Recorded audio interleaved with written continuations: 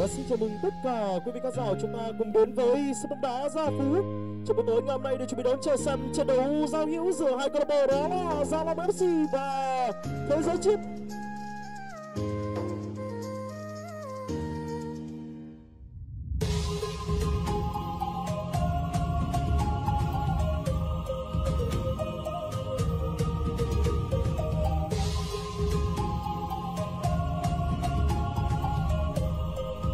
Vừa xem như vậy không phải là cú đều và là cầu thủ quần áo số 26 rất nguy hiểm.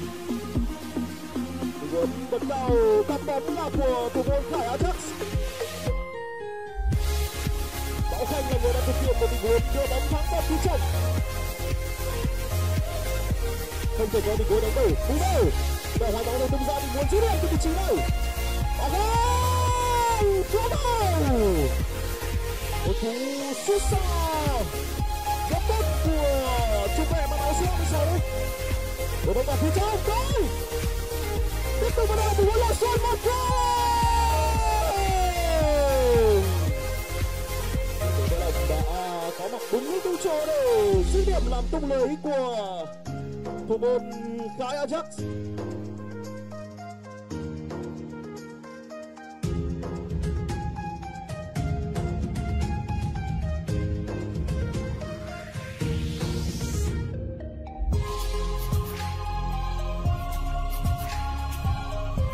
rất nguy hiểm.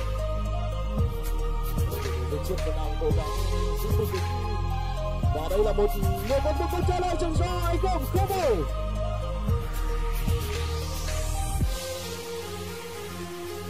hiện tại thì đó là cơ đội bóng dành cho câu lạc bộ rồi.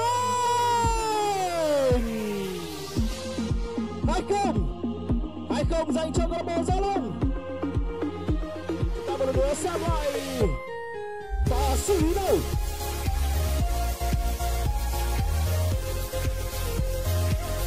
Tới! Ba không dành cho Gia Long Messi Đấy chính Văn Thành mới là người đã ghi bằng với tỷ số lên ba không. Đức Quý. Đức phương qua Đức Quý không được Tôi sẽ cho thế sẽ trước. Cho trái Tỷ số được ghi bằng một một Chúng ta xem lại và xử lý mạo hiểm của thủ môn Đức Quý. Góc và ngoặt bóng rất hay của Thanh Tùng cũng với một cú đá. Thật ra, đánh bại hoàn toàn thủ môn Thanh Tùng.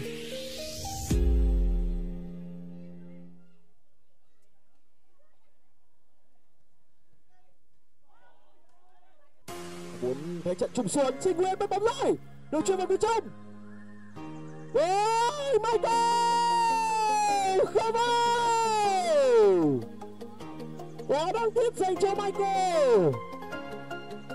Đây là hiệp đấu bùng nổ của Gia Lâm FC với khoảng 15 phút đủ họ thi đấu rất bùng nổ. Bóng lại hướng lên phía trên, khung thành của Khải chết rồi không vào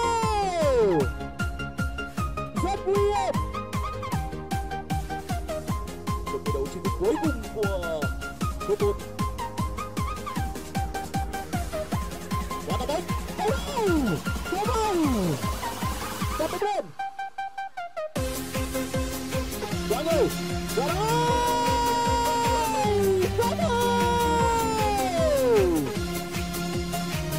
vẫn chưa một tình huống to lớn nữa của thế giới chiếc phạt đất cho câu lạc bộ áo trắng đánh bao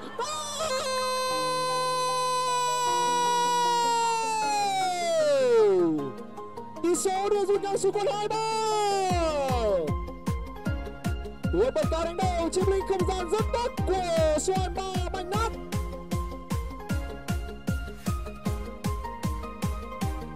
Dư điểm thẳng, không out và bóng chạm tay của cáo thủ áo trắng chúng ta xem lại và đá phạt trực tiếp đây cú đá bằng chân trái, rất đẹp và thế là đôi chuyện của Đà Lạt rồi một tốt, không vào một tên đi tiền vào đó đó bóng chưa đi qua đồng bóng hiện những tình huống đồng bóng đưa cơ và bóng ra bóng chúng ta sẽ cùng nhau xếp lại và xử lý trước đó gọi là Jobs phải rất dễ dàng vì vượt qua của mình trước chân dưới đất có bóng đội tung ra của đá bóng là quả thanh niên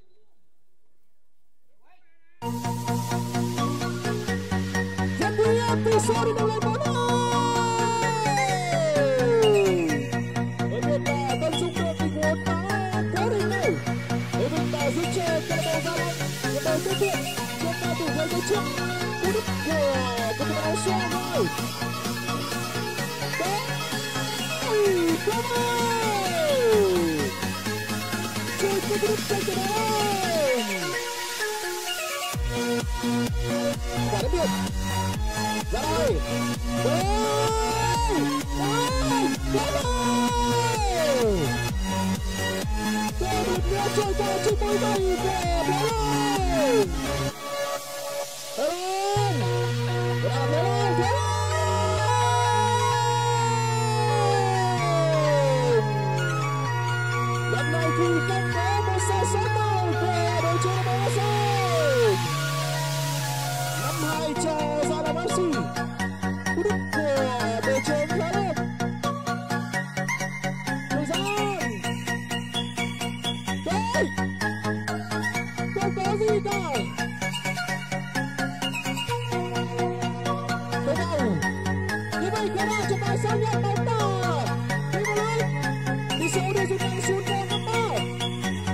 Và bây chúng ta sẽ cùng nhau xem lại bàn thắng này.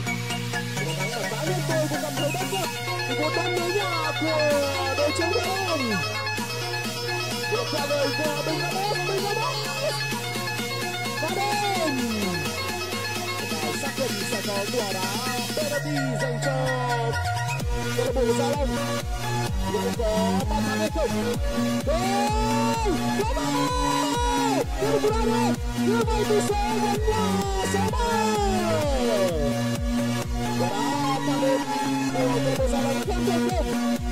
Long mà cầu thủ áo số 39 vẫn kịp thời vào để đá đầu. Chúng ta bây giờ xem lại số 16 đó.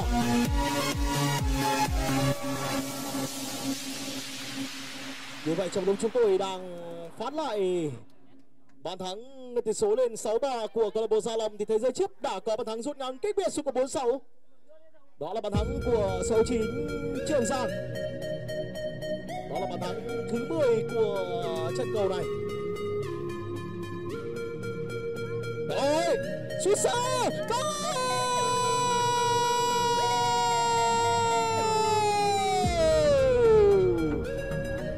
tỷ số đưa rút ngắn xuống còn năm sáu một bàn nữa thôi của trường giang. Một cú đá bóng đi rất sệt. Michael tốt michael lên, michael vào lên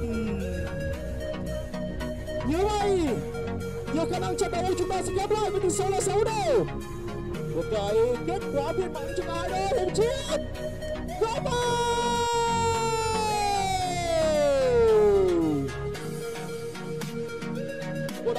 đi không chính xác của chủ tịch Hùng Chiết. Muốn mà Michael dù khó nhưng vẫn cố gắng mang lại cho đội nhà một quả đá phát đền Không vào, có xung lên Thế đập,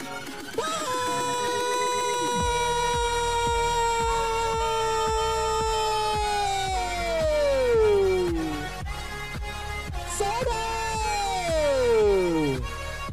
của Trường Giang. Một sự bùng nổ tuyệt vời của Trường Giang.